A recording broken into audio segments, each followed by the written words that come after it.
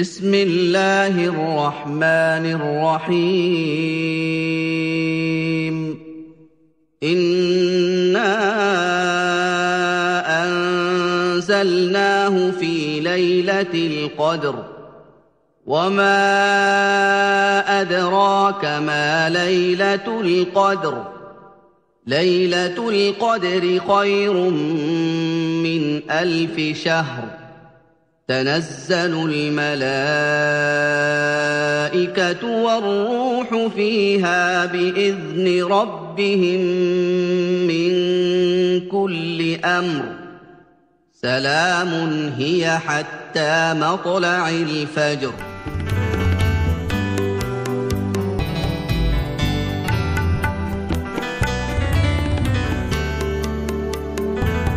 سلام بینندگان عزیز تلویزیون کاروان. رمضان مبارک. با ختم شدن ماه مبارک رمضان و نزدیک شدن عید فطر Afghan Canadian Women با کمک Royal Palace Banquet Hall برای خانمای عزیز یک برنامه عیدی تهیه نمودند. با تاریخ 10 جولای ساعت 7 شام در Royal Palace Banquet Hall آدرس 7845 Edmonds Street برای پرداخت تکت با شماره 778 779 01 72 یا با شماره 604 561 39 59 زنگ بزنید و تکت خود را خریداری نمایید. قیمت تکت 25 دلار از کودکان می باشد 10 دلار از سن 5 تا 10 سال. امیدوار هستیم که همه خانم را اونجا ببینید.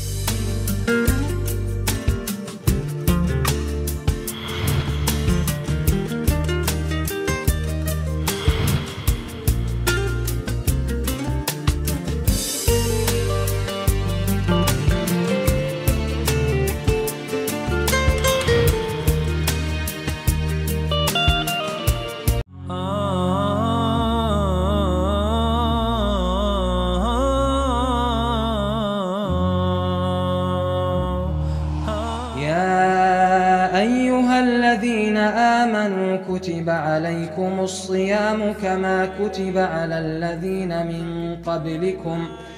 كتب عليكم الصيام كما كتب على الذين من قبلكم لعلكم تتقون. We're making dua and I feel how nice it is to be so near to those I love. Whenever we think of Ramadan, all the good things that we need to do and plan. It's not always easy, but we'll do the best we can.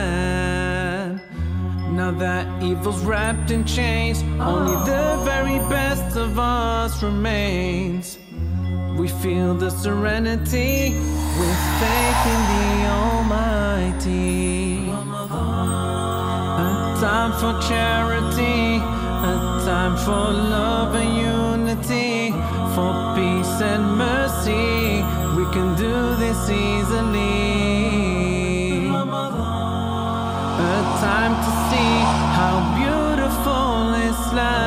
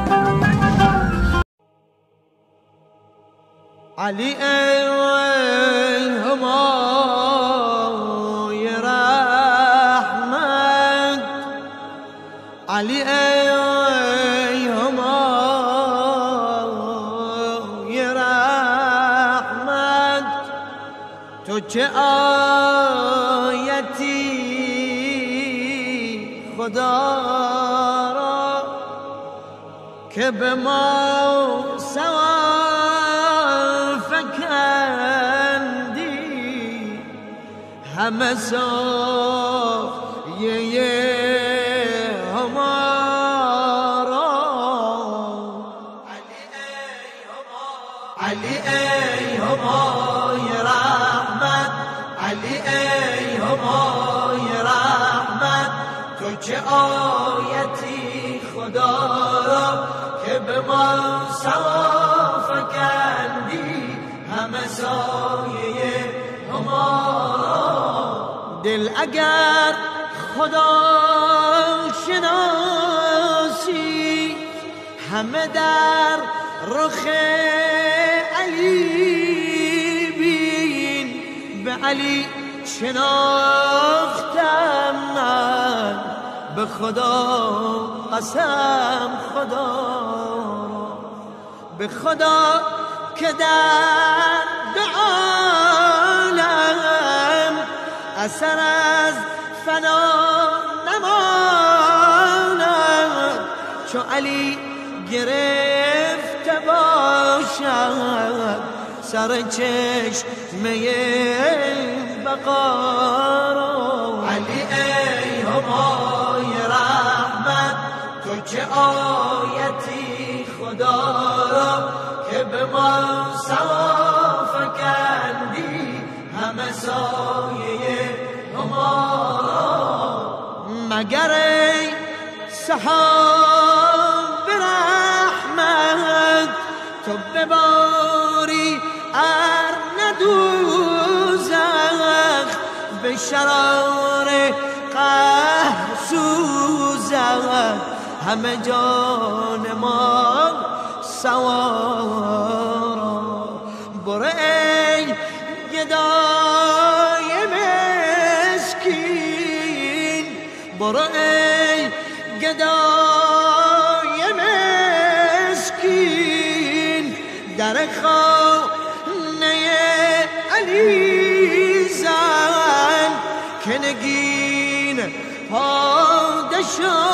پادشاهی دهد از کرم گدارا علی ای همای رحمت تو چه آیتی خدا را که به ما سوا فکندی همه سایه همارا به جز از علی که آرد جز از علی که آرد پسری اول عجایب.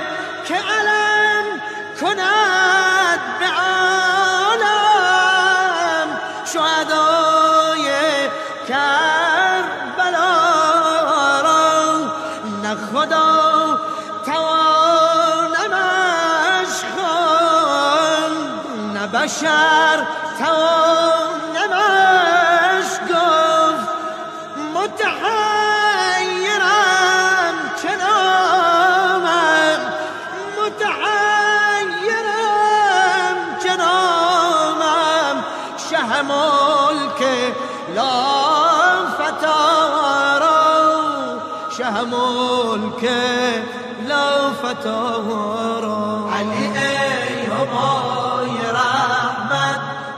آیتی خدا را که به ما سوا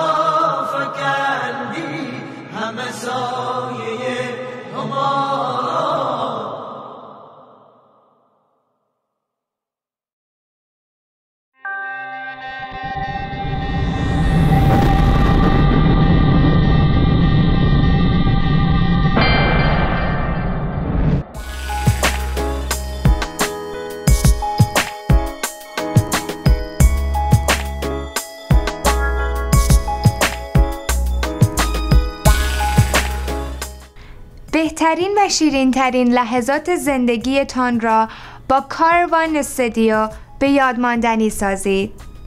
کاروان استودیو با کادر مجرب آماده فیلم برداری و عکاسی از مراسم عروسی، روز تولد و محافل با بکارگیری بهترین و پیشرفته ترین امکانات و تجهیزات فیلم برداری و عکاسی همراه با شرایط مناسب و نرخ مطلوب می باشد.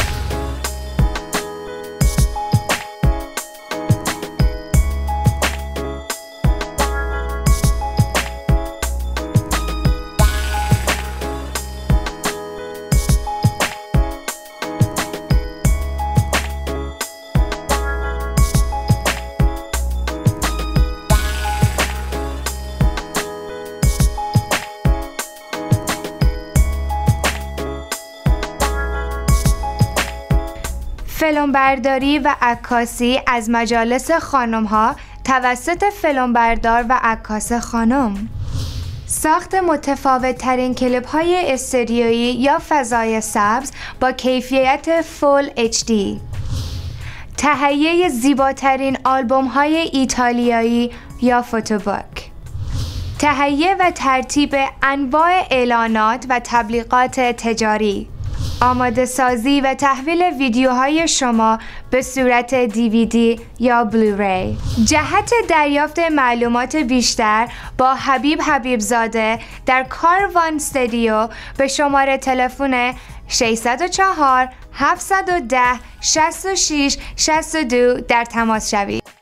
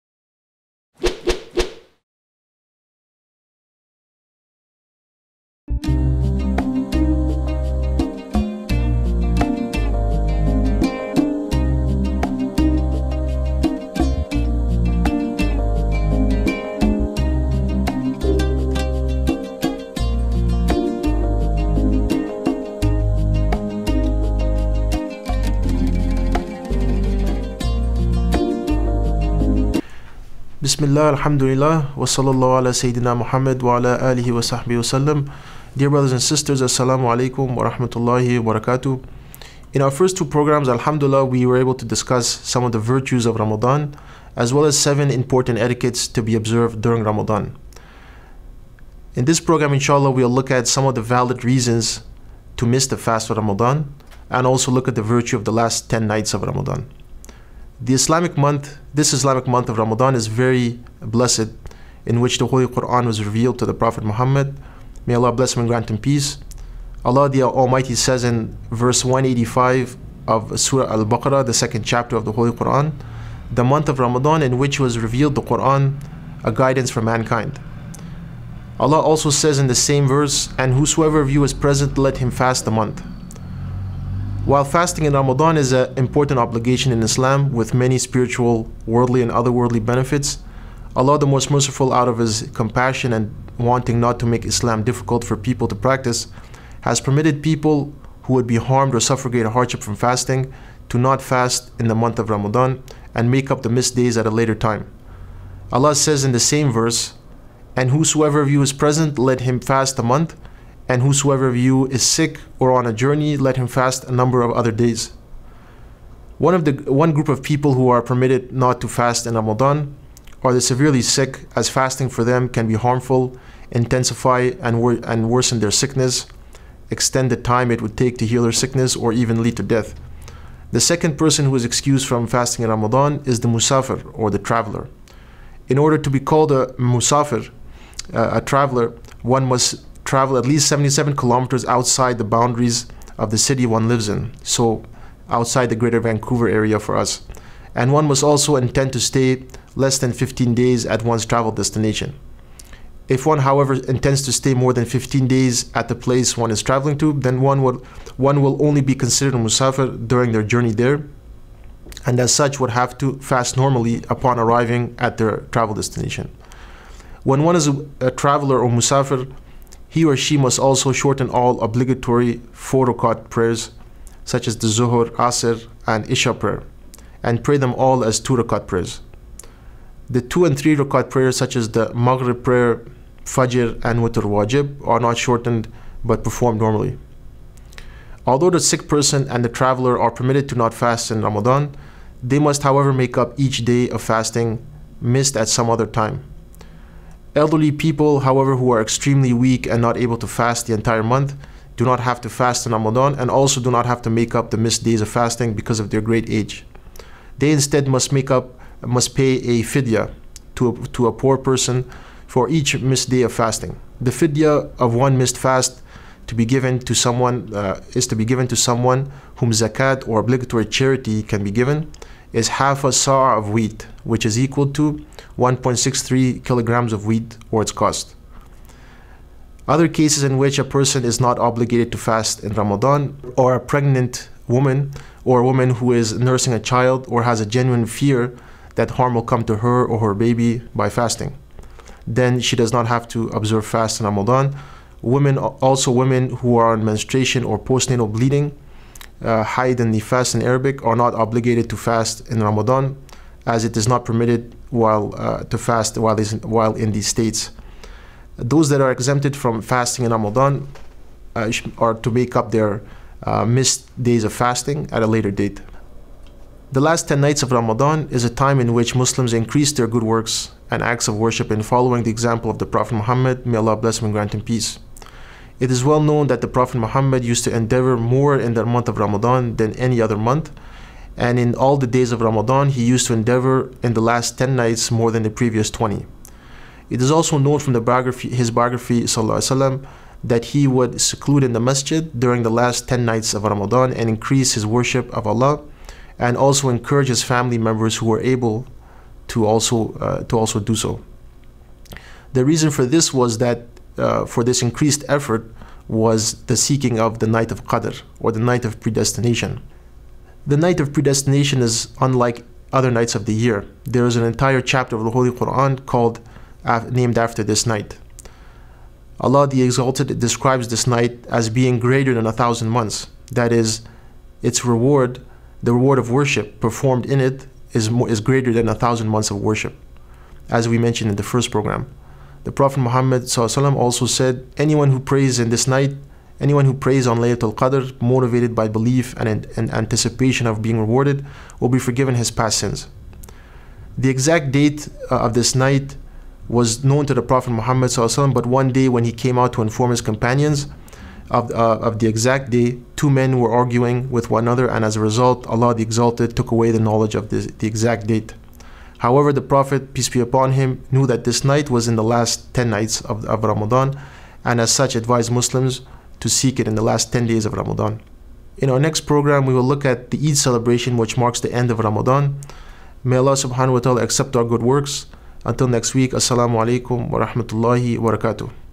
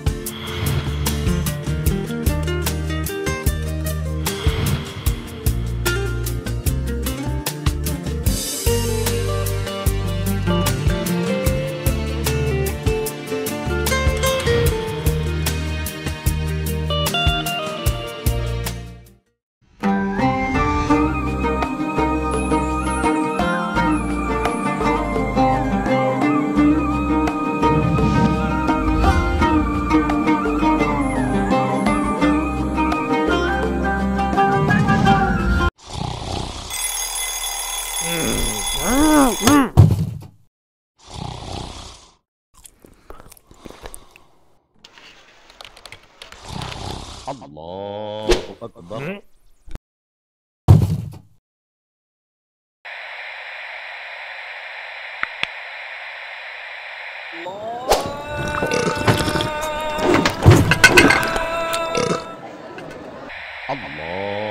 أكبر.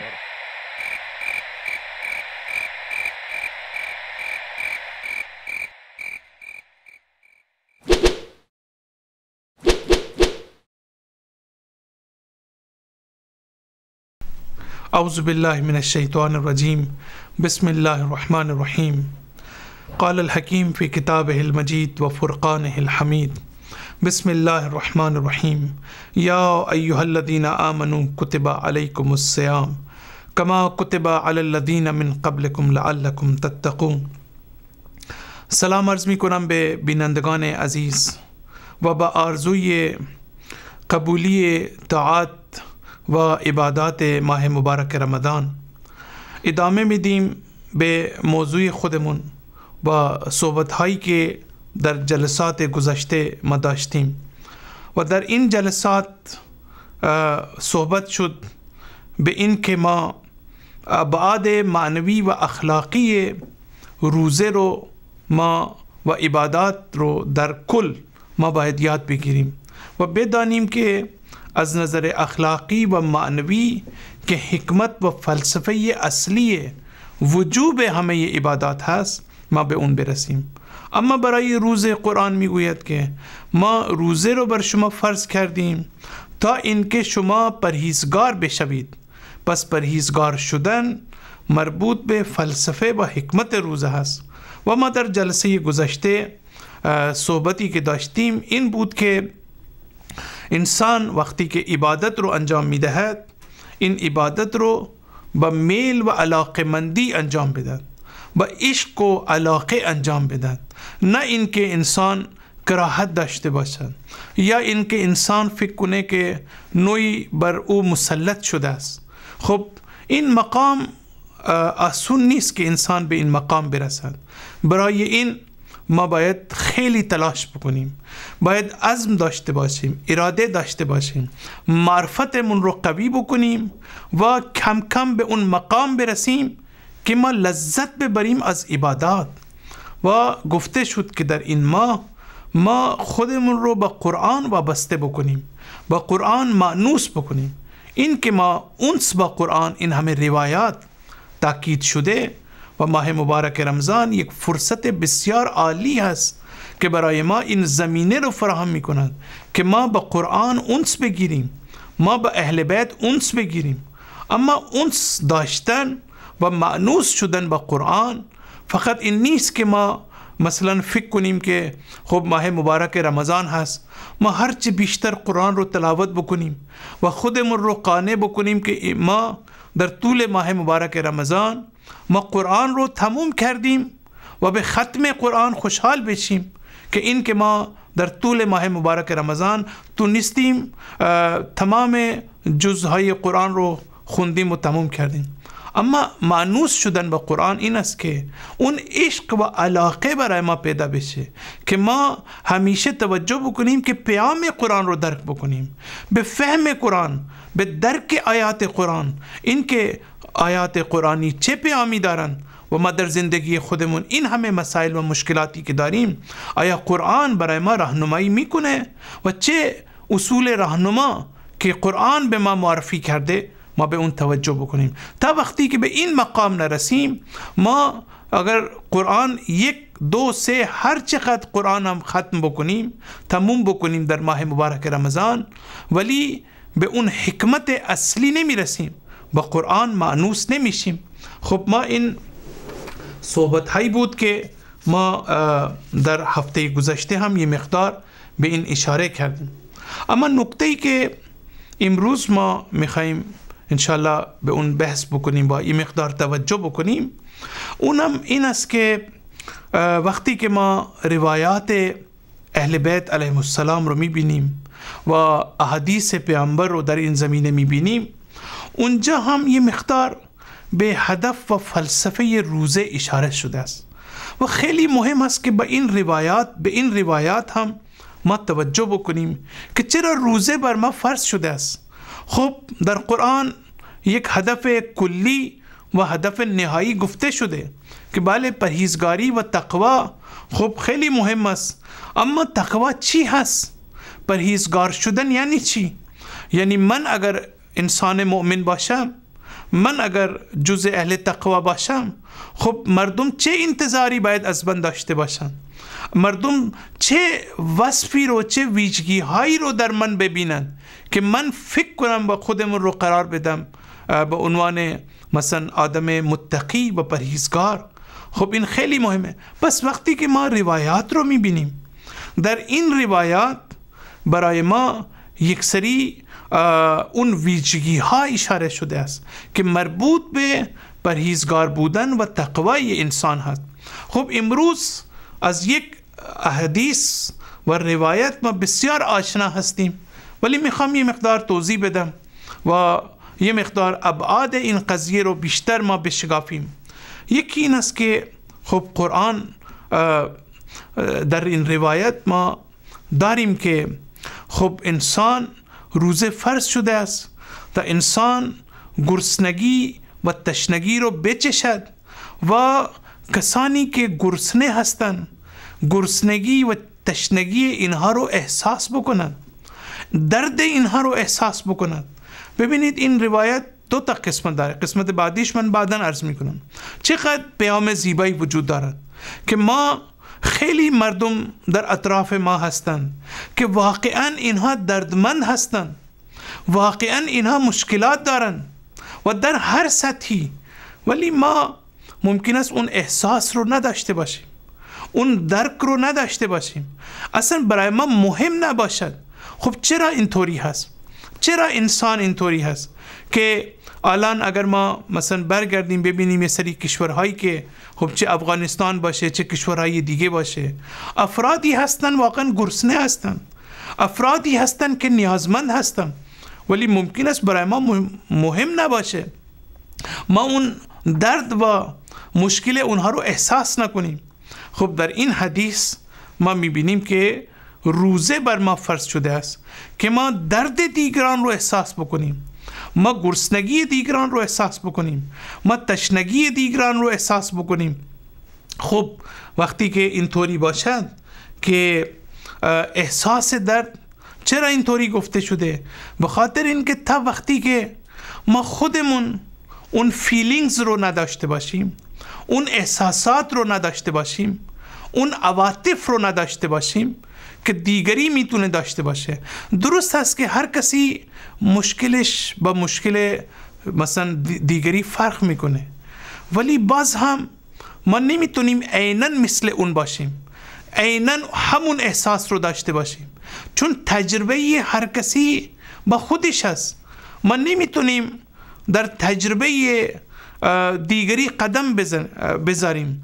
ما ولی تا حدودی ما می‌تونیم شریک درد و غم یکدیگری باشیم. و این وقتی ممکن هست که ما هم به اون درد یا مشابه اون مبتلا بشیم و همون احساس رو ما داشته باشیم. وقتی که ما خودمون اون تجربه رو داشته باشیم از اون تجربه که از اون مشکل بگذاریم و مواجه بشیم خب ما احساس درد دیگری رو هم خواهیم داشت۔ خب این یک نکته مهمی هست که خوب است که ما در این فرصت که ماه مبارک رمضان هست، ما توجه بکنیم۔ اما این که ما بگیم و کسی بشنود این هم کفایت نمیکنه۔ ممکن است خیلی ها هستند که روزه میگیرن، ولی باز هم اون احساس درد پیدا نمی کنند خب باز هم من اشاره می کنم که باز هم ما باید یک زحمت اضافی بکشیم. ما باید تلاش بیشتری بکنیم. تا وقتی که ما تفکر نکنیم تعمل نکنیم، تا وقتی که ما این یعنی درد دیگران رو ما خودمون احساس نکنیم و ربط ندهیم به اونها، ما باز هم به این مقام نمی رسیم پس این حدیث به ما یاد می دهد که روزه برای ما مهم هست تا ما یک دیگر مشکلات یک دیگری رو بفهمیم و برای یک دیگری کمک بکنیم. اون چیزی که دست ما برمیاد ما اون مشکل رو خب چطور هست که اگر مثلا خدای نکرده کسی از از اعضای خانواده رو از دست بدهد و ما هم همین تجربه رو داشته باشیم خب ما می‌تونیم قشنگ خودمون رو با دیگری وصل بکنیم. چون با همون مشکل ما هم مواجه شدیم.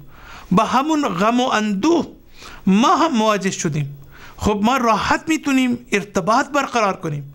ولی خیلی جاها ما نمی‌تونیم چون ما اون تجربه رو نداریم. خب این روزه به ما یاد میده که اگر کسی به یک دردی به یک مشکلی مبتلا هست ما سعی کنیم که با او نیازبندی اون رو احساس بکنیم و مشکل اون رو احساس بکنیم و مسئله رو بتونیم اگر بتونیم حل بکنیم اگر چیزی از دست ما برمیاد، ما اون رو انجام بدیم. نکته دیگری که در این روایت وجود دارد که روزه چرا ما گرسنگی و تشنگی رو بچشیم؟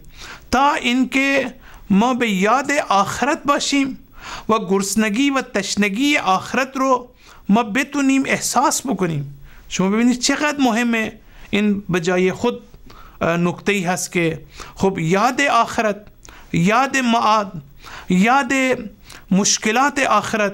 خب ما وقتی که به قدری درگیر هستیم در این دنیا، در این دنیای مادی به قدری اسیر هستیم که برای ما خیلی سخت است که ما به یاد آخرت باشیم به یاد قیامت باشیم به یاد اون روزی که عذاب الهی مردم میبینن، اونایی که گناهکار هستند خب، روزه برای ما فرض شده که ما یاد معاد بکنیم، یاد آخرت بکنیم.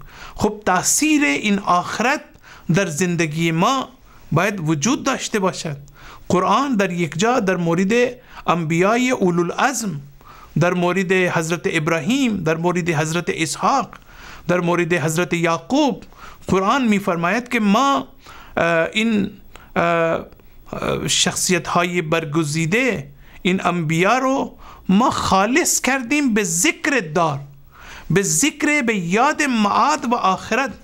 ببین این آیه چقدر قشنگ است که توسط این آخرت ما می‌تونیم خودمون رو خالص بکنیم می‌تونیم خودمون رو تطهیر بکنیم می‌تونیم خودمون رو عوض بکنیم می‌تونیم تاثیر آخرت در زندگی ما باشد. ولی در عمل ما بسیار مشکلات داریم.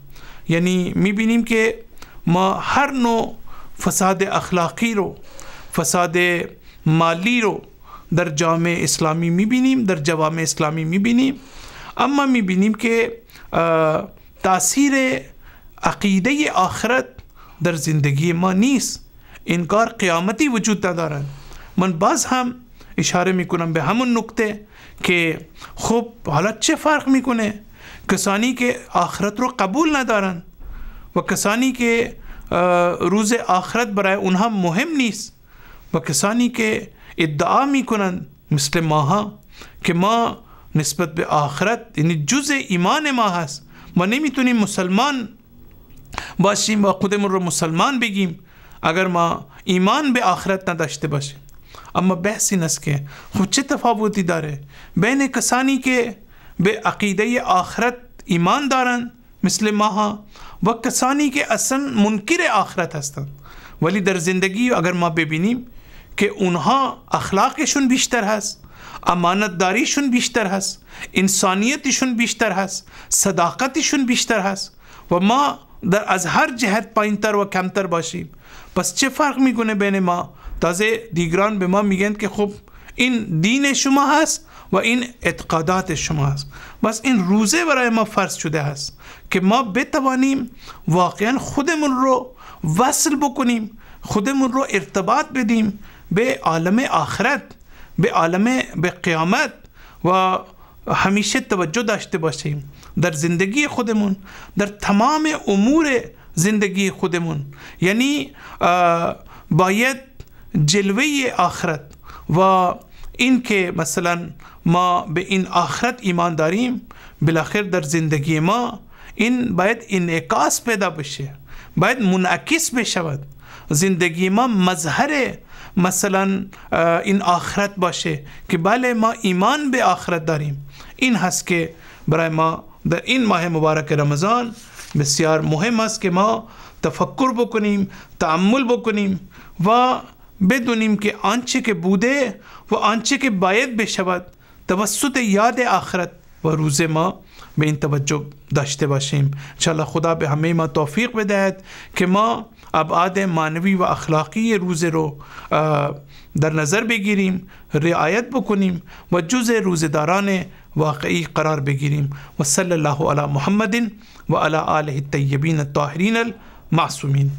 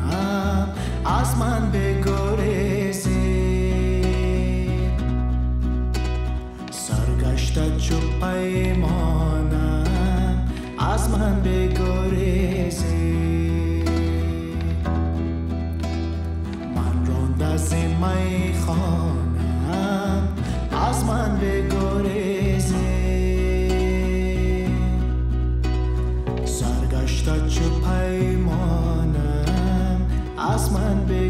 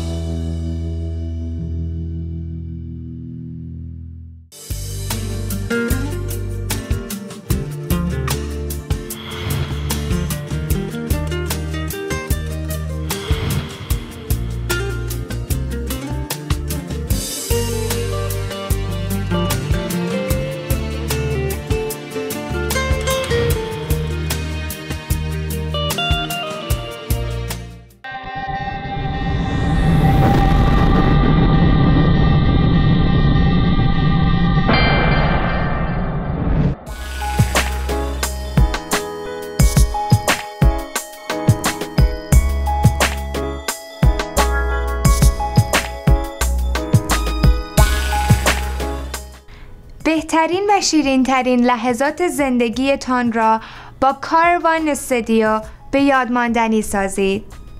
کاروان استریو با کادر مجرب آماده فلم برداری و عکاسی از مراسم عروسی، روز تولد و محافل با بکارگیری بهترین و پیشرفته ترین امکانات و تجهیزات فلم برداری و عکاسی همراه با شرایط مناسب و نرخ مطلوب may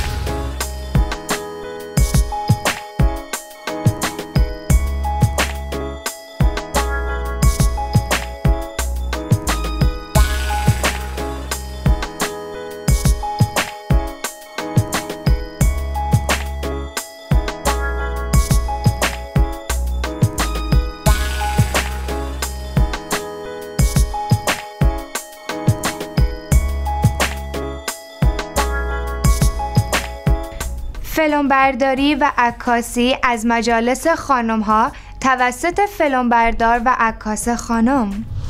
ساخت متفاوت ترین کلیپ های استودیویی یا فضای سبز با کیفیت فول HD تهیه زیباترین آلبوم های ایتالیایی یا فوتوبوک تهیه و ترتیب انواع اعلانات و تبلیغات تجاری. آماده سازی و تحویل ویدیوهای شما به صورت دیویدی یا بلوری. جهت دریافت معلومات بیشتر با حبیب حبیبزاده در کاروان استودیو به شماره تلفن 604 710 66 62 در تماس شوید.